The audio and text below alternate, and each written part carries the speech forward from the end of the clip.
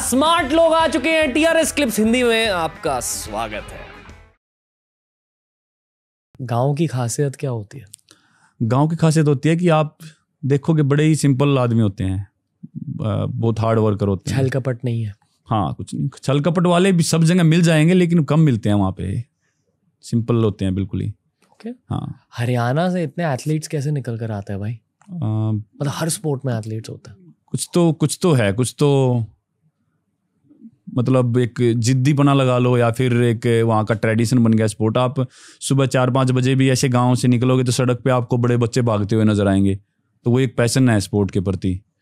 वो चाहे ग्राउंड नहीं है। मेरे गाँव में कोई ग्राउंड नहीं था। हम फिर भी सड़क पे दौड़ लगाते थे। तो वो कहीं ना कहीं वो एक चीज़ है कि आप वो फैसिलिटी ही नहीं मांगते कि यार हमको ये भी चाहिए, ये भी चाहिए।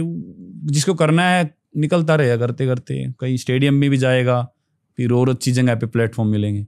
पर करो आप बस मेहनत करो। Okay hmm. मुझे लगता है कि वहाँ स्पोर्ट्स का एक अच्छा सिस्टम बनाया गया है। सिस्टम भी है और अभी तो गवर्नमेंट भी काफ़ी सपोर्ट कर रही है धीरे धीरे स्टेडियम्स बन रहे हैं। जी। और वही है खा, खान पान भी है एक बहुत ही हम्म। ज़रूरी खान पान बहुत एक बड़ी बताइए। होता है हाँ। बताइए खाना पीना क्या है कि वही है घर सभी घर में अपने भैंस होती है तो दूध घी पनीर दही सब कुछ और अपना क्योंकि हरियाणा है तो वही हरियाली अपना खेत होते हैं सभी के लगभग गाँव में तो। और ज़्यादातर खिलाड़ी आप देखो गाँव से ही बिलोंग करते हैं। तो अपने खुद की सब्ज़ी या खाना पीना अपना खुद का होता है ऑर्गेनिक टाइप में हम्म, ज़्यादा। हम्म। तो वो अच्छा खाना पीना तो घर पे फोर्स करते हैं वहाँ पे हरियाणा पंजाब में कि खाओ और खाओ और खाओ। और खाना और मेहनत का कॉम्बिनेशन होता है तो वो फिर अपने आप ही हो जाता है। आप वेज? हो नहीं मैंने नॉन वेज स्टार्ट कर दिया था क्योंकि को खाना पड़ता है। बाहर नहीं मिलता वेज बहुत हम्म, मुश्किल होती है।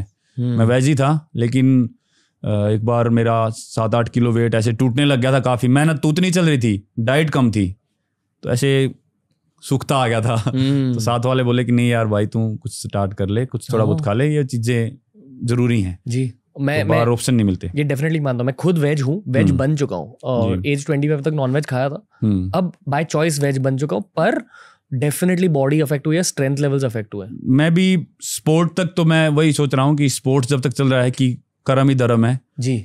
बाकी उसके बाद में मेरा भी यही है कि यार नॉन वेज वगैरह से दूर लेकिन जब तक मैं स्पोर्ट कर रहा हूँ तब तक मैं जब मेहनत के लिए कुछ भी करना पड़ेगा तो मैं कोशिश कर रहा हूँ कि यार उन चीज़ों को कंटिन्यू रखें। जी डाइट के बारे में कुछ बताइए क्या खाते हो आप? डाइट के बारे में मुझे नॉन वेज में बहुत ज़्यादा मैं ऐसा नहीं हूँ कि मैं बहुत नॉन वेजिटेरियन हूँ। कभी कभी चिकन या फ़िश या अंडे बस इतना ही है। बहुत ज़्यादा चीज़ मैं नहीं खाता।